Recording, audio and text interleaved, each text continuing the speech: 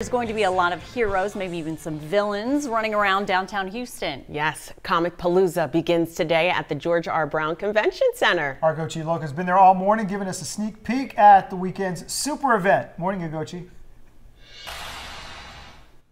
Hey, good morning. Get ready for an epic, entertainment filled weekend. Comicpalooza kicks off today here at the George R. Brown Convention Center. Take a look. This is the street team of cosplayers.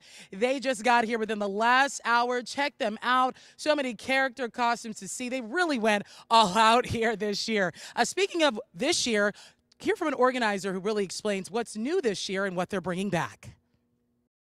We're happy to report that our Tasha Showdown, what you see here in the background, is expanding this year. We have motorcycles. It gives us the ability to come to Texas' largest pop culture festival. Um, we've been coming to Comicpalooza since 2013, and our kids love coming doing it.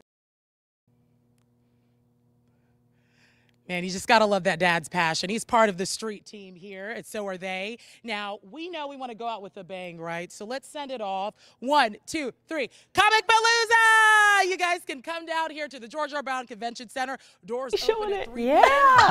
Look at Granny. Look at Granny in the back.